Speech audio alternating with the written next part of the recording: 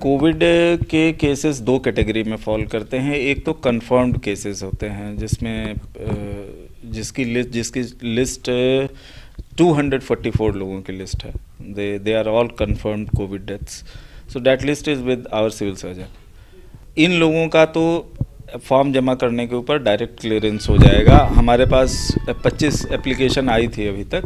25 application का भी हमने दोपहर बारह बजे तक क्लियरेंस कर दिया। उनका बिल ट्रेजरी में चला गया है।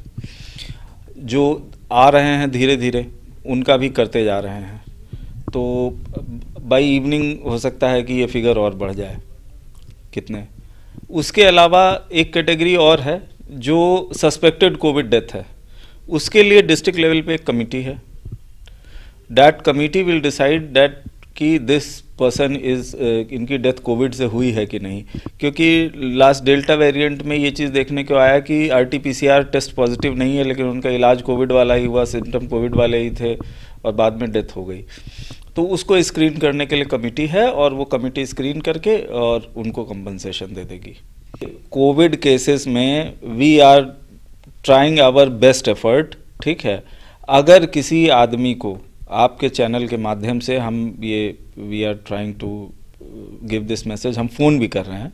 अगर किसी आदमी के पास कोई कागज़ नहीं भी है, या कोई प्रॉब्लम भी है he can come with incomplete form ये हमारी रिस्पॉन्सिबिलिटी है, हम उसका फॉर्म पूरा कराएँगे।